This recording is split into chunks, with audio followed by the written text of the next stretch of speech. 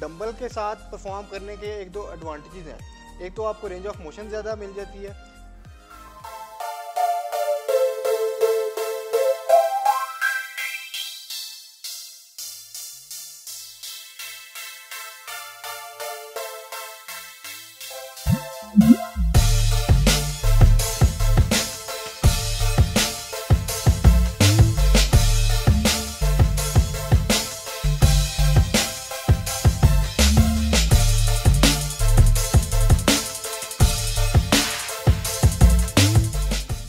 Assalamualaikum, welcome back to CG2 presents, Tone Your Body. Yes, we have got another episode for you. और आज की episode में हम chest को train करने जा रहे हैं और चेस्ट की एक कॉमन एक्सरसाइज को हम परफॉर्म करेंगे, जिसका नाम है चेस्ट प्रेस बेंच प्रेस या बारबल प्रेस ये आप बारबल के साथ ही परफॉर्म कर सकते हैं और डंबल के साथ ही परफॉर्म कर सकते हैं। और ये आपकी स्ट्रेंथ गेनिंग एक्सरसाइज है। Squats deadlifts bench press barbell shoulder press ये आपकी स्ट्रेंथ गेनिंग एक्सरसाइज है। इनसे आपकी स्ट्रेंथ गेन होती है, जो बाकी आपके ओवरऑल वर्कआउट में आपको हेल्प करती है। और आज की एपिसोड में मेरे साथ हैं सनी भाई। वेलकम सनी भाई। वहीं बैठ जाए तो इस एक्सरसाइज को परफॉर्म करने के लिए आपको चाहिए एक फ्लैट बेंच उसके बाद बारबल और इसके बाद आप इसके ऊपर लेट जाएँ। अब सबसे पहले हम पोस्चर की बात करें ना। तो आपने अपने बेंच पे लेट जाना है। बेंच पे लेटने के बाद फीट आप स्टेबल कर लें।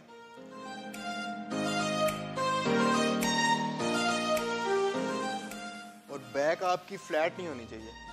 बैक अगर आपकी फ्लैट होगी तो वो आपकी बैड फॉर्म है। आपने बैक में एक आर्च बनाना है। आर्च मतलब आपकी जो लोअर बैक वाला एरिया है ना, उसमें आपके गैप होना चाहिए।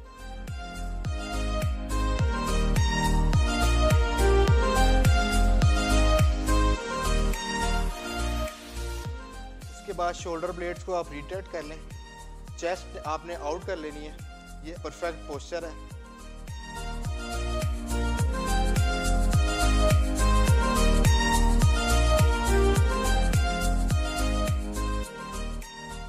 अब पोस्चर के बाद हम बात करेंगे कि आपने ग्रिपिंग कैसे करनी है। शोल्डर के थोड़ा सा बाहर से आप ग्रिप करें मॉडरेट ग्रिप करें, बहुत ज़्यादा वाइड या बहुत ज़्यादा क्लोज ना करें, क्योंकि बहुत ज़्यादा क्लोज में टेंशन ट्राइसेप में आ जाती है चेस्ट में आपको टेंशन ही नहीं रहती। आपकी जो ग्रिपिंग है ना, वो अनईक्वल नहीं होनी चाहिए। इक्वल आपने ग्रिपिंग रखनी है। उसके लिए आपको काफ़ी रॉड हेल्प करते हैं, क्योंकि रॉड के ऊपर ग्रिपिंग बनी होती है। तो आप उसको इजीली वहीं से आप ग्रिप कर सकते हैं। अगर आपके रॉड के ऊपर ग्रिप नहीं बनी हुई तो आप अपने हाथ से एरिया काउंट करें और उसके बाद आप एक्सरसाइज को परफॉर्म करें। लेकिन मेक श्योर sure कि आपने कभी भी गलत ग्रिपिंग नहीं करनी, क्योंकि अगर आपकी ग्रिप इक्वल नहीं होगी तो आपकी चेस्ट अनइक्वल ग्रो हो जाएगी। अब हम बात करेंगे रेंज ऑफ़ मोशन की। तो सनी भाई वेट लिफ्ट करें। वेट लिफ्ट करने के बाद यहाँ से आपने स्टार्ट करना है और फिर आपने इस रॉड को अपने चेस्ट तक लेके आना है। ये चेस्ट पे आप थोड़ा सा टच करें और फिर वापस इस तरह परफॉर्म करें। अब जब आप रेड बेंच को परफॉर्म कर रहे होंगे ना तो रॉड आपका निपल्स पे आना चाहिए। ये परफेक्ट रेंज ऑफ़ मोशन है। थैंक यू सनी भाई।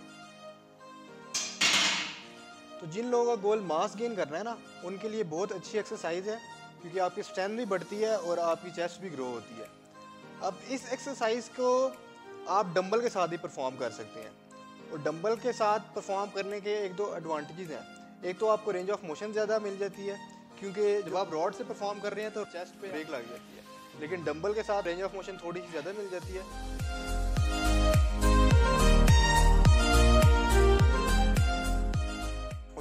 आपको एडवांटेज ये है, आपकी एक साइड स्ट्रांग होती है और एक साइड वीक होती है। लाइक आपका एक हैंड स्ट्रांग होता है और एक वीक होता है। जब आप बाइबल से कर रहे हैं तो वीक हैंड जो है, वो कवर हो जाएगा आपके स्ट्रॉन्ग हैंड से। लेकिन जब आप डंबल से परफॉर्म कर रहे हैं तो आपको मसल इम्बेलेंस का इशू नहीं होगा, क्योंकि दोनों हैंड जो हैं, वो इक्वल वेट्स को लिफ्ट कर रहे हैं। कुछ लोगों की राइट साइड ज़्यादा बड़ी होती है, कुछ की लेफ़्ट छोटी होती है और कुछ की राइट ऊपर होती है, कुछ की थोड़ी सी नीचे होती है तो आप इस मसल इम्बैलेंस को ख़त्म करने के लिए आप डंबल से भी परफॉर्म किया करें। अब हम आपको इस एक्सरसाइज को डंबल से परफॉर्म करके दिखाते हैं। इसमें सबसे पहले आप अपने डंबल को उठा लें। मेक श्योर करना है बैक स्ट्रेट हो जब आप डंबल को लिफ्ट कर रहे हैं। उसके बाद बैठ जाएँ और अपने नीज पर रख लें वेट को। और फिर आपने वेट को अपने नीज से पुश करना है, उससे फोर्स डिवाइड हो जाएगी और उसके बाद बेंच पे लेट जाए। पोस्चर आपका सेम होना चाहिए फीट्स आपके स्टेबल बैक में आर्ट्स चेस्ट आउट शोल्डर ब्लेड को रिट्रेट करना है और एक्सरसाइज को परफॉर्म करें अब ये परफेक्ट रेंज ऑफ़ मोशन है। ये देखें, इनको एक्स्ट्रा रेंज ऑफ़ मोशन मिल रही है। अब इस एक्सरसाइज को परफॉर्म करते हुए आपने मेक श्योर sure करना है कि शोल्डर्स आपके एक्स्ट्रा स्ट्रेट नहीं होने चाहिए। आपने एल्बोज को थोड़ा सा इन्वर्ट्स करके परफॉर्म करना है। ये परफेक्ट रेंज ऑफ़ मोशन है।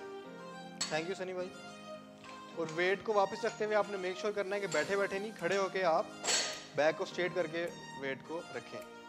तो अब आप बताएँ कि आप इस वर्कआउट के कितने सेट्स लगाते हैं? डंबल के साथ चार सेट्स टेन रिपीटेशन के, और रॉड के साथ तीन सेट्स टेन रिपीटेशन और ट्वेल्व रिपीटेशन के। ये मेरी चेस्ट के लिए काफ़ी इफ़ेक्टिव है। और मेरी चेस्ट ने काफ़ी ग्रो की है। तो व्यूअर हर बॉडी डिफरेंट है। अब तीन सेट्स के साथ ट्वेल्व ब्रेस्ट इनके लिए इफ़ेक्टिव है। अब आपने अपने वर्कआउट पे फोकस करना है कि आप लाइट वेट के साथ कर रहे हैं या आप हैवी वेट के साथ कर रहे हैं।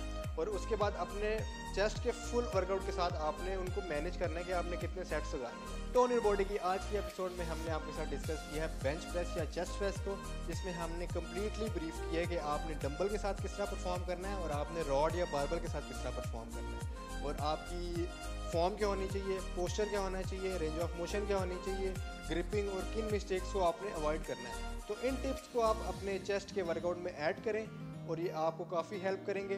तो नेक्स्ट एपिसोड तक के लिए अपना ख्याल रखें, अच्छी डाइट रखें एक्सरसाइज करते रहें फिट रहें। ला हाफिज़।